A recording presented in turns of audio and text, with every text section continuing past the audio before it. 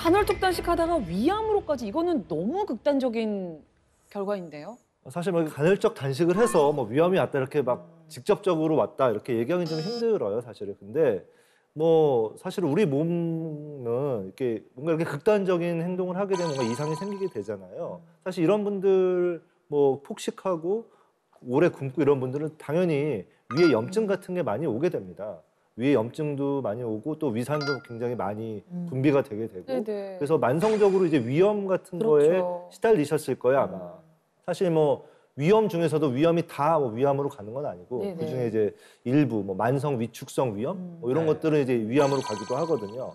그래서 뭐 그렇게 뭐 간접적으로 뭐 갔을 수는 있다 이렇게 좀 생각이 좀 듭니다. 너무 안타까운 게 그 배가 아프고 음. 막쫄 듯이 아프기 전에 병원에 갔었으면 위암으로까지는 안 가실 수 있지 않았나라는 그렇죠. 안타까움이 너무 네. 이게 그럴 젊은 수 분들이. 너무 과신을 해서 아파도 잘 안 가시더라고요. 근데 저희도 폭식증이나 이런 분들 오면 내시경부터 시키거든요. 네. 분명히 이게 소화기 계통이 문제가- 이상이 있을 가능성이 아. 있어서.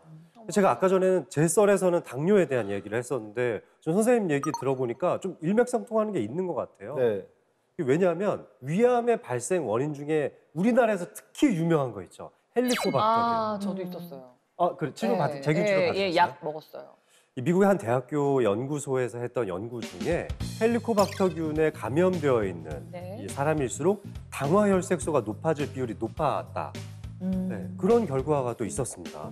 이 헬리코박터균 하면은 사실 우리나라에서는 두 명 중 한 명은 감염돼 있다 이렇게 볼 수 있는 아주 흔한 박테리아인데요. 이런 분들이 이제 극단적으로 살 빼려고 간헐적 다이어트를 오랜 시간 동안 하다 보면 결국은 위암도 생길 수 있는 거 아니겠습니까? 사실 저도 어, 임시성 당뇨를 제가 둘째 어. 첫째 때는 정상이었는데 둘째 때 알았었는데 그때 저는 너무 음식이 땡기잖아요 임신을 하면 근데 이 당뇨 때문에 먹을 수가 없는 거예요. 뭘 조금만 그냥 뭐 소스 샐러드 네. 소스만 뿌려진 것 좀 건드려도 쫙 올라가는 거예요 아. 그래서 어, 조절 잘 하셔야 됩니다 강성현 씨 하는데 나중에는 그 얘기를 듣는데 너무 화가 나는 거예요 음. 그냥 아예 어. 먹지 말아야지 뭐 음. 근데 산모가 뭘 아무것도 먹지 않으면 어떡해요 그럼요. 그러니까 이제 다이어트 하시는 분들이 이제 많이 아. 굶잖아요. 음. 이제 네. 굶으면 필연적으로 이제 음. 소화불량이나 이런 게 생길 수밖에 없어요. 네. 사실 뭐 그 위에서 일을 하는 이제 위산이나 이런 애들도 이렇게 자꾸 이렇게 규칙적으로 뭔가를 해줘야 되는데 얘가 규칙적으로 안 하고 불규칙적으로 하니까 얘도 짜증이 나잖아요. 그러니까 여러 가지 트러블을 일으키게 된단 말이에요. 이게 왜 그런 거 있잖아요. 늑대다 막 이런 거 있잖아요. 음, 늑대다 네. 불렀는데 아니면은 네. 나중에는 결국 진짜 늑대한테 큰코 다치잖아요. 나타나고 예. 그러니까 이거 마찬가지인 거예요. 어, 이게 진짜 병이 왔을 때 그 병의 증상을 내가 인지하지 못하게 되는 거죠.